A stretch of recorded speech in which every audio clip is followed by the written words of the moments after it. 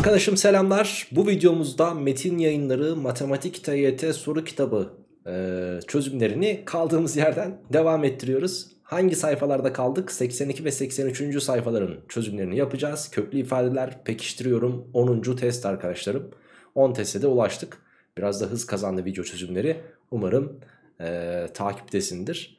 Videoyu beğendiysen ve kanala da abone olduysan gel hep beraber vakit kaybetmeden çözümleri yapmaya başlayalım. Kök 10 eksi kök 6 ile kök 5 artı kök 3'ü çarpmış kök 8'e bölmüş bu işlemin sonucu soruluyor bize.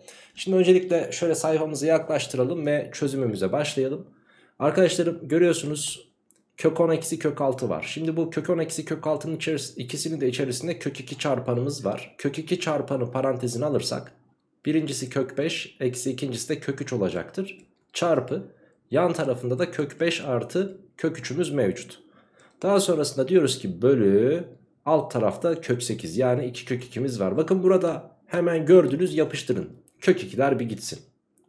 Kök 5 eksi kök 3 de kök 5 artı kök 3 2 kare farkı açılımıdır. Dolayısıyla kök 5'in karesi eksi kök 3'ün karesi gelir. Yani 5 eksi 3'ten üst taraf 2 gelir. Alt tarafta da bir 2'miz var. 2'ler de sadeleşirse doğru cevap kaç olur? 1. Yani cevabımız B seçeneğinde sevgili gençler verilmiştir dedik. Ve geçtik 2'ye. Aşağıdaki karelerin alanları sırasıyla 8, 18 ve 50 birimdir. Buna göre bu şeklin çevresi kaç birimdir diye soruluyor. Şimdi arkadaşlar şunu yapacağız bakın.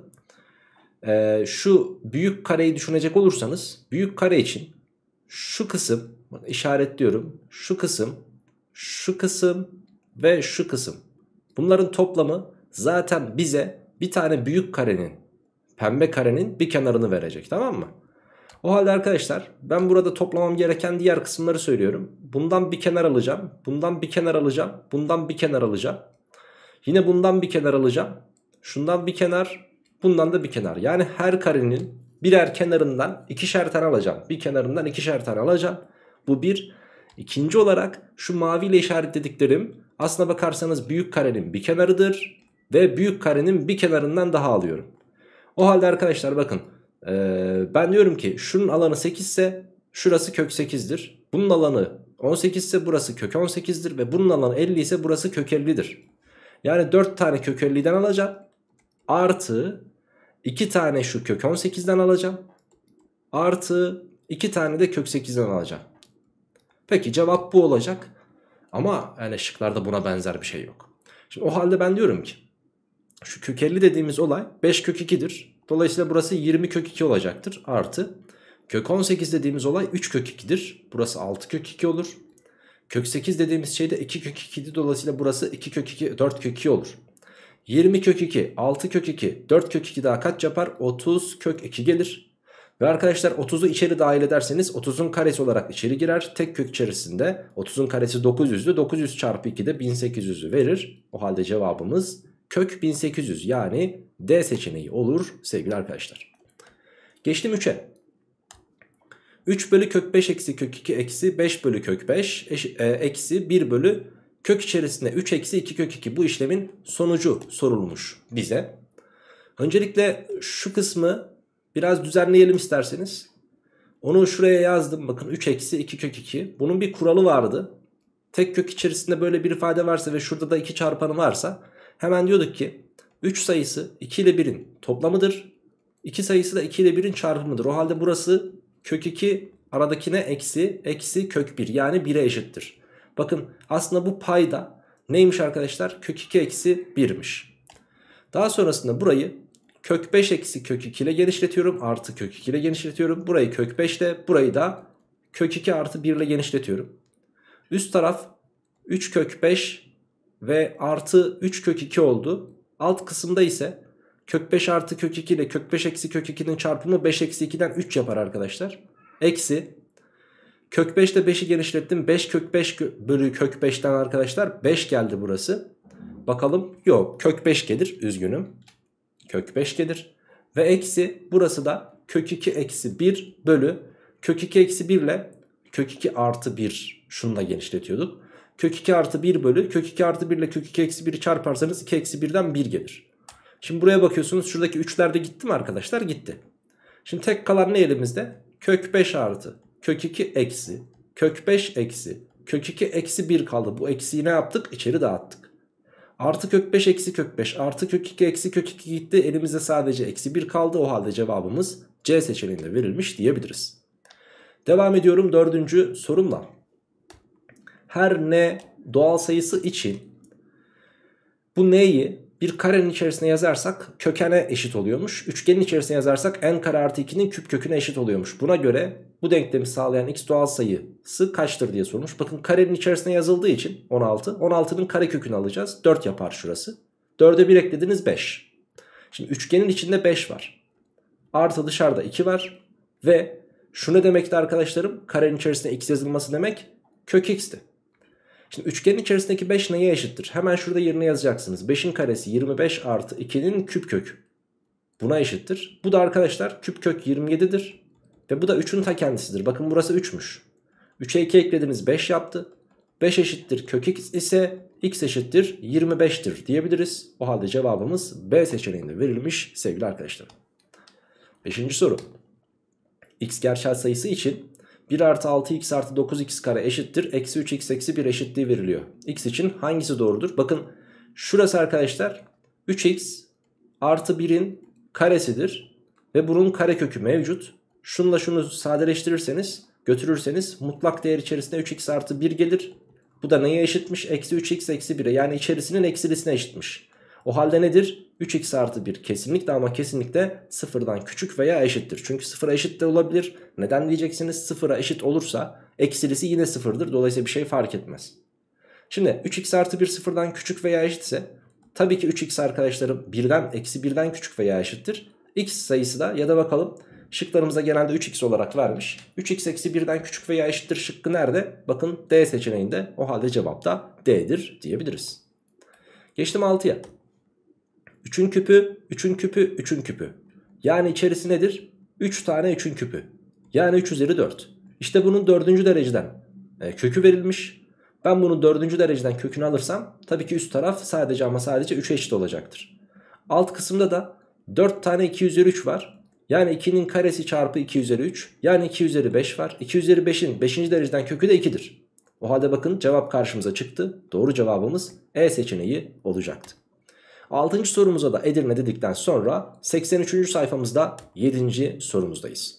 Uzun kenar uzunluğu kök içinde 2160 birim olan bir dikdörtgenin kısa kenar uzunluğu kaç birim olursa dikdörtgenin alanının değeri bir rasyonel sayı olur. Dikdörtgenin alanı neydi? Kısa kenarla uzun kenarı çarpıyorduk. Şimdi o halde bize şunu sormak istiyor. Uzun kenar uzunluğum buyken ben bu sayıyı hangi aşağıdakilerden hangisiyle çarparsam sonuç bir rasyonel olur. Yani kökten kurtulur diye soruluyor. O halde ben buradaki 2160 sayısını Öncelikli olarak bir asal çarpanlarını ayırayım ki kök dışına nasıl çıkıyor buna bakalım. Ben bunu ikiye bölersem 1, 0 ve sevgili arkadaşlarım 80. 1080 gelir. Tekrar 2'ye bölersem eğer 540 olur. 2'ye böldüm 270. Tekrar 2'ye böldüm arkadaşlarım. 135 gelir. Şimdi artık 2'ye bölünmüyor. 3'e böldüm 45. 3'e böldüm 15. 3'e böldüm 5. 5'e böldüm 1. Şimdi şu 2 ile şu 2 kök dışına çıkar. Bu 2 ile bu 2 kök dışına çıkar. Buradaki 3 ile 3 kök dışına çıkar. Bakın burası 2 diye, burası 2 diye, burası 3 diye kök dışına çıkar. 2 kere 2 4 kere 3'ten 12 kök 15 gelir. 3 kere 5 de içeride kalır. Demek ki kök 2160 sayısı 12 kök, 12 kök 15'miş. O halde arkadaşlar benim kısa kenarımın içerisinde mutlak surette 15 çarpanı olmak zorunda. 15 çarpanının dışındaki çarpanlarda ne olmak zorunda arkadaşlar? Tam kare olsun ki dışarı çıksın. Ve bununla çarpıldığı takdirde de sonuç bir rasyonel sayı olsun. Şimdi gelin 1300'e bakalım. 1300 sayısını 2'ye böldüm. 650 geldi. Tekrar 2'ye böldüm. 325 geldi. Şimdi arkadaşlarım bu sayıyı 5'e bölerseniz 32'nin içinde 6 defa 25'in içinde 5 defa. Bakın 65'in içerisinde 13 çarpanı var. Ve dolayısıyla bize kök 15 gibi bir sayı vermeyeceği açık. Dolayısıyla 1300 olmuyormuş. Bunu sildim. Ve tabii ki A şıkkı da gitti. 1215'e bakalım. 1215 sayısı için bu sayıyı ben eğer 5'e bölersem 12'nin içerisinde 2 defa, 21'in içerisinde 4, 15'in içinde 3 defa. 243 sayısı geldi. 243 sayısı da biliyorsunuz 3'ün 5. kuvvetiydi. Hiç uğraşmaya gerek yok. 3 üzeri 5 çarpı 5 üzeri 1'i ben karekökün içerisine alırsam eğer buradaki 3 üzeri 4'ün 2 tanesi çıkar. Yani 4 tane 3'ün 2 tanesi çıkar. Ne diye çıkar? 9 diye çıkar. Daha sonrasında kök içinde bir tane 3 bir tane 5 kaldı. Yani kök içinde 15 kaldı. Bakın şu sayıyla şu sayıyı çarparsanız kök 15'ler birbirini götürür. 15 olur. 12 kere 9 da zaten rasyoneldir. O halde cevabımız B seçeneğiymiş. Kısa kenarımız eğer kök içinde 1215 olursa bu uzun kenarı 2160 olan kök içinde 2160 olan dikdörtgenin alanı rasyonel olacakmış. Geçtim 8'e. Yeni keşfedilen yeni keşfedilen kuyruklu bir böceği inceleyen biyologlar böceğin gövdesinin kuyruğuyla birlikte 3,5 cm ve kafasının 0,5 cm olduğunu ölçüyorlar. Bakın e, böceğin gövdesinin kuyruğuyla beraber 3,5 cm. Yani şu kısım 3,5 cm kafası da 0,5 cm antenlerini bilmiyoruz ama antenleri hariç bu böcek sevgili arkadaşlarım 4 cm diyeceğiz. Buna göre bu böceğin ağzının uzunluğu e, ağzının uzun ne, ne yazıyor? Ağzının kuyruğunun ucuna. Bu böceğin ağzının kuyruğunun ucuna olan uzaklığının santimetre cinsinden değeri. Şimdi e, kitaplarınızdan siz kafanızı eğerek net görebilirsiniz ama bu böcek şu an benim ekranıma biraz uzak. Dolayısıyla ben yaklaştıracağım arkadaşlar. Şöyle yapalım. Aynen. Şimdi bakın burada net görünüyor. Ağzı şurası. Ağzının kuyruğuna olan uzaklığı soruluyor. Yani ben bunu nasıl bulabilirim? Şunu söyleyeceğiz. Ağzının kuyruğuna olan uzaklığı 3,5 santimetreden yüksek. 4 santimetreden de daha küçük. 3,5 santimetre ile sevgili arkadaşlarım ben buna x dersem eğer ağzının kuyruğuna olan uzaklığına 4 santimetreden küçük olması gerektiğini biliyorum. Şimdi uzaklaştık gençler. Uzaklaştıktan sonra da artık diyoruz ki bizim aşağıda verilen şıklarımızın hepsi köklü. 3,5'tan büyük ve 4'ten küçük olmasını biz bekliyoruz. Dolayısıyla arkadaşlarım e, biz şöyle diyebiliriz artık. Bunların karelerini alalım. Bunların kareleri e, hangi iki tam sayı arasındaysa tamam mı? E, tabii şıkların da karesini alacağız. X de olur diyeceğiz. Bakın 3.5'ün karesi. Yani 35 kere 35'i bir bulalım önce. 5 kere 35 175 yapar. 3 kere 35 de 105 yapar. İkisini toplarsak 5, 2 bakın şurası 2 yapar ve 1 gelir. 1225. 1225. Bunu da arkadaşlarım ne yapacağız? Virgülden sonra birer tane e, virgül olduğu için 3.5 ile 3.5'ün birer tane virgülü var. Virgülden sonra hanesi var. Dolayısıyla 2 tane virgül kaydırdım 12,25 yaptım. 4'ün karesi de 16. Demek ki x kare arkadaşlarım 12,25 ile 16 aralığında olacak. Peki x aşağıdakilerden hangisidir diye sorulmuştu ya. Eğer kök 10 olursa karesi 10'dur. 10 bu aralıkta değil. 11 bu aralıkta değil. 12 bu aralıkta değil arkadaşlar. 17 bu aralıkta değil ama 15 bu aralıktadır. 8. sorumuzun cevabı da D seçeneği olu, olabilir arkadaşlarım. Tamam çünkü net bir uzunluk bilmiyoruz. Zaten sorumuzda bize olabilir diye sorulmuş. Cevabımız D seçeneği olacaktı. Ve 9. soru. Şimdi bu soruda bize diyor ki bu işlemin sonucu kaç? Şimdi güzel kardeşim bak şöyle yapacağız. Sen gelip burayı 7 eksi 2 7 artı 2 kök 10'la burayı da 7 eksi 2 kök 10'la genişletebilirsin. Fakat benim sana daha güzel bir e, yöntem önerim var. Şöyle yapalım. Kök içinde 7 artı veya eksi 2 kök 10 dediğimiz sayı bak formata uygun verilmiş kökün içinde. Burada iki tane birbirinden farklı sayı var.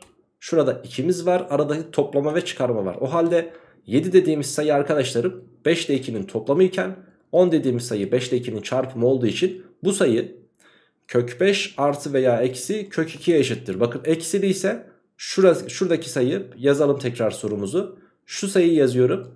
Kök 5 eksi kök 2 artı 3 bölü burası da kök 5 artı kök 2 olacak. O halde arkadaşlarım ben buraya artık kök 5 artı kök 2 ile burayı da kök 5 eksi kök 2 ile genişleteceğim. Üst taraf 3 kök 5 artı 3 kök 2 şu taraftaki üst taraf 3 kök 5 eksi 3 kök 2 dediniz. Bölü alt kısım kök 5'ten kök 5'in karesinden kök 2'nin karesini çıkararak 3'ü bulabilirsiniz. Artı 3 kök 2 ile eksi 3 kök 2 gitti.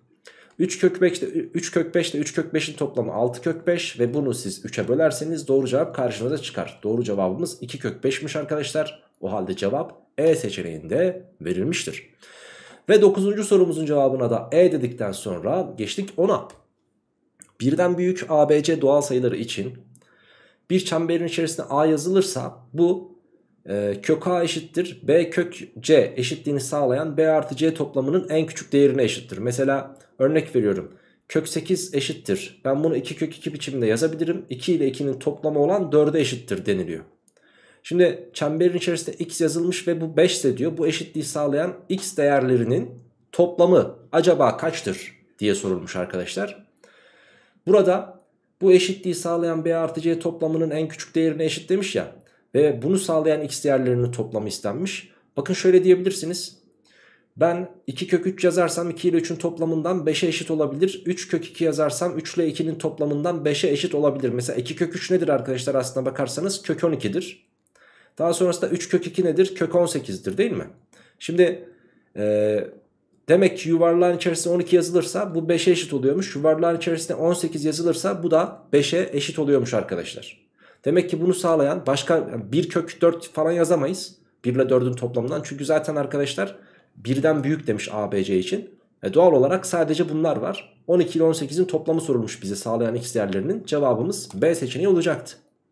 Ve son sorumuz 11. soru. Soru altta kalsın ben üst tarafa çözüm yapayım.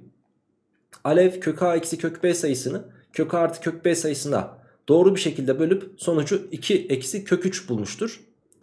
Buna göre Alev kök a artı kök b sayısını kök a eksi kök b sayısına doğru bir şekilde bölseydi sonuç kaç olurdu? Şimdi bunu buna bölüp bunu buluyorsa bunu buna bölerse şunu bulur bakın. 1 bölü 2 eksi kök 3'ü bulur. Sonuç bu cevap bu. Fakat paydada irrasyonel bir ifade bulunmayacağı için 2 artı kök 3'ü de genişletmem lazım benim bunu. Üst taraf 2 artı kök 3 olur.